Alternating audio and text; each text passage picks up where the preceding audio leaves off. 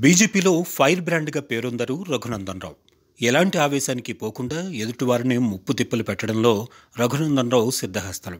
స్వతహాగా లాయర్ అయిన రఘునందన్ రావు రాజకీయాల్లోనూ తనదైన శైలిలో ప్రత్యర్థులను కట్టడి చేస్తూ ఉంటారు. దుబ్బాకు నుంచి ఎమ్మెల్యేగా గెలిచిన తర్వాత ఆయన చరిష్మా మరింతగా పెరిగింది. బీజేపీకి మంచి ఊపు వచ్చింది.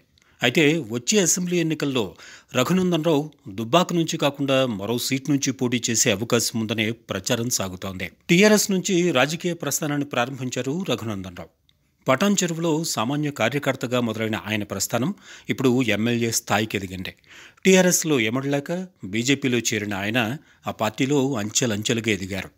అనుకోకుండా వచ్చిన దుబ్బాకు ఉప ఎన్నికల్లో అందరి అంచనాలు తలకిందులు చేస్తూ ఘన విజయాన్ని సాధించారు.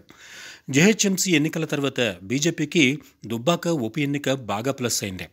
ఓ విధంగా చెప్పాలంటే దుబ్బాక బైపోల్ తర్వాతే బీజేపీ తెలంగాణలో ఎదిగేందుకు ఎంతో దోహదపడింది. దీంతో రఘునందన్ రావుకు పార్టీలో కూడా ప్రయారిటీ పెరిగింది. అయితే బండి సంజయ్ రాష్ట్ర అధ్యక్షుడిగా ఉన్నప్పుడు ఆయనకు రఘునందన్ రావుకు పెద్దగా పొసికేది కాదు. దీంతో అంటి ముట్టనట్లుగా ఉండేవారు. బండిని తప్పించిన తర్వాత తనకు ప్రాధాన్యత దక్కుతుందని రఘునందన్ రావు ఆశించారు. ఢిల్లీ వెళ్ళి తన డిమాండ్లను హైకమాండ్ ముందుంచారు. అయినా అవి నెరవేరలేదు. దీంతో ఆయన కాస్త అసంతృప్తితో ఉన్నారు. పార్టీ కార్యక్రమాల్లో పెద్దగా పాల్గొనటం లేదు. కిషన్ రెడ్డి వచ్చిన తర్వాత కూడా తన రాత మారలేదని రఘునందన్ రావు ఆలోచిస్తున్నారు. మరోవైపు దుబ్బాకులో ఓ వర్గం ఎప్పటి నుంచో రఘునందన్ రావును వ్యతిరేకిస్తోంది. మొదటి నుంచి బీజేపీలో ఉన్న నేతలు రఘునందన్ రావును అసలు జీర్ణించుకోలేకపోతున్నారు. దీంతో ఈసారి రఘునందన్ రావుకు దుబ్బాక టికెట్ ఇవ్వద్దని హెచ్చరిస్తున్నారు. ఇస్తే తాము సహకరించే ప్రసక్తే లేదని తేల్చి చెప్పేస్తున్నారు.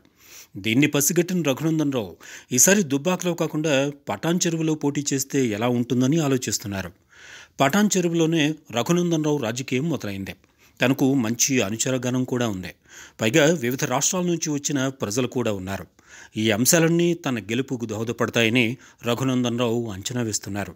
మరి హైకమాండ్ ఏం చేస్తుందో చూడాలి.